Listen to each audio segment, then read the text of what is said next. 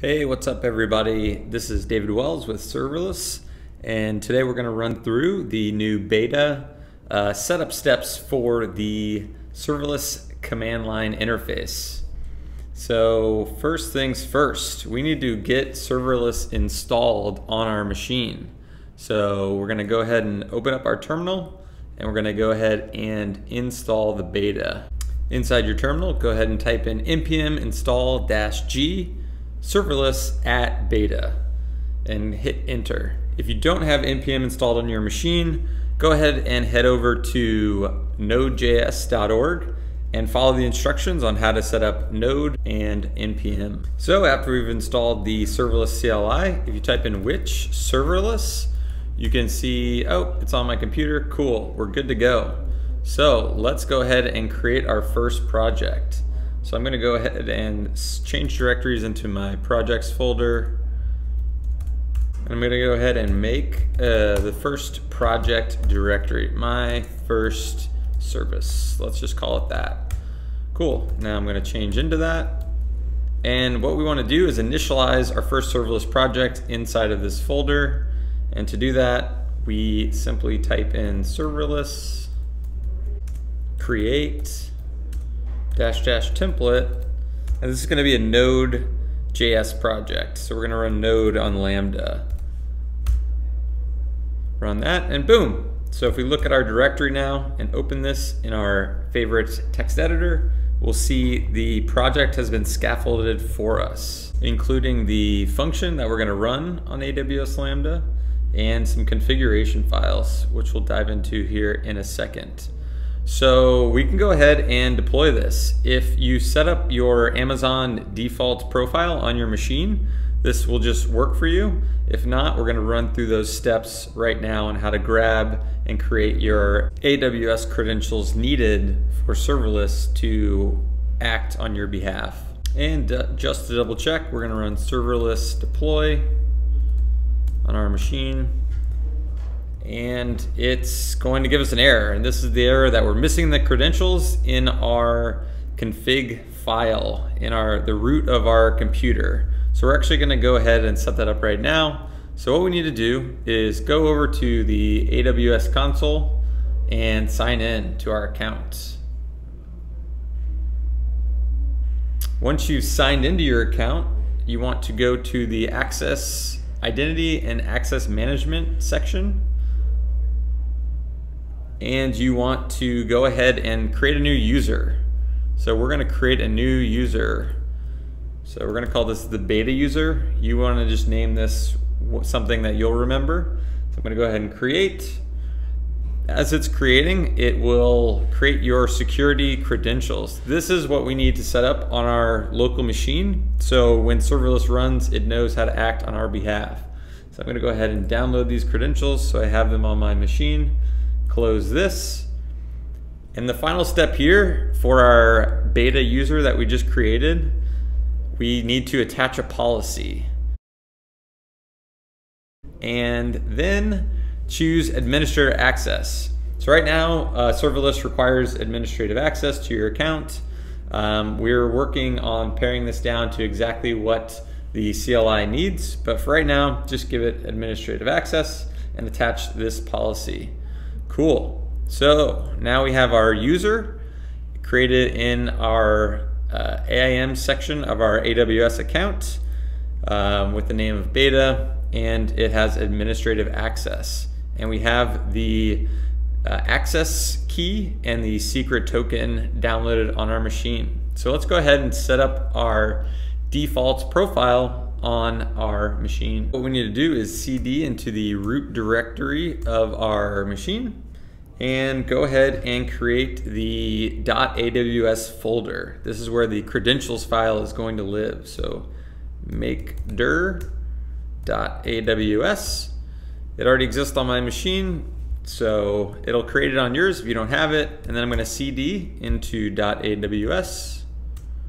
And we need to create that credentials file. So just go ahead and type in touch credentials that will go ahead and create our credentials file in this directory.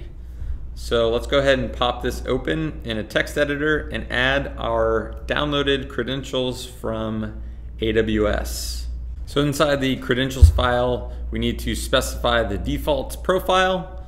We also need to add the AWS access key ID and the secret access key ID. So we need to grab these values from that downloaded file that we have from here. So I'm gonna go ahead and open this up say comma separated value. And here's my access key. So I'm gonna copy and paste that out of here. And here is the secret token. So I'm gonna copy and paste that out of here as well. Cool, so save that file. And now if we go back into our project in the terminal, so now we need to run deploy again. Now that the credentials are saved, and then serverless will go ahead and create that stack for us. So this process takes around one to two minutes, uh, depending on how many resources you're using. Um, this is on the Amazon side. It has to create your uh, IAM roles and propagate that through the system. So it takes a little bit of time.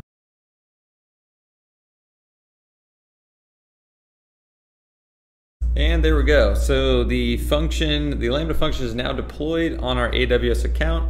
So what we can do is actually use serverless invoke,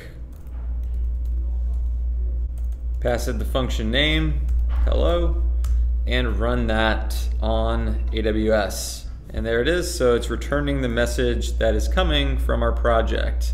That handler, here's that message. Go serverless version 1.0. Cool. So, and if we go into our AWS account, what we can see is here's our newly created Lambda function. And we can actually go ahead and see like the configuration and the monitoring and triggering of that function. Great. So we just run through uh, the first Lambda function. Um, what we're doing is manually invoking that via the CLI. But let's go ahead and expose this via the API gateway and actually have a live endpoint to trigger our custom function.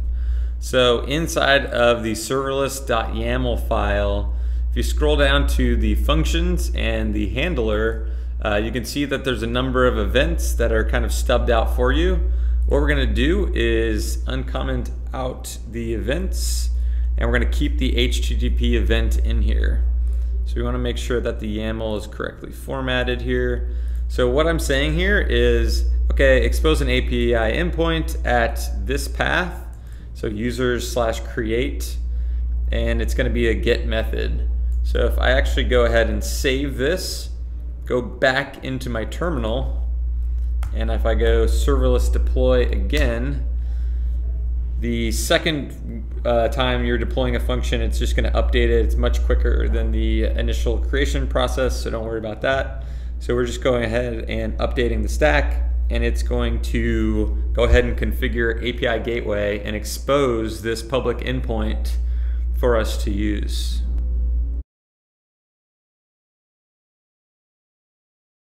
And boom, there we go. So we have, let's go ahead and go to this in our browser. So this path, I'm gonna go ahead and click that. Spinning up the function and th boom, there we go. There is our message coming back from our function. So that is the quick tutorial uh, running through how you can create a function and uh, expose that via an API relatively quickly. Uh, again, you don't have to run through the uh, AWS credential setup every time. Once you have that set up and running, uh, deploying and managing functions is a breeze uh, with the serverless CLI. So I hope you guys enjoy the beta. Uh, we're gonna have a post on the blog about all of the uh, new features and uh, new kind of functionality that we are releasing. So yeah, stay tuned to more videos coming out of serverless here in San Francisco and talk to you soon.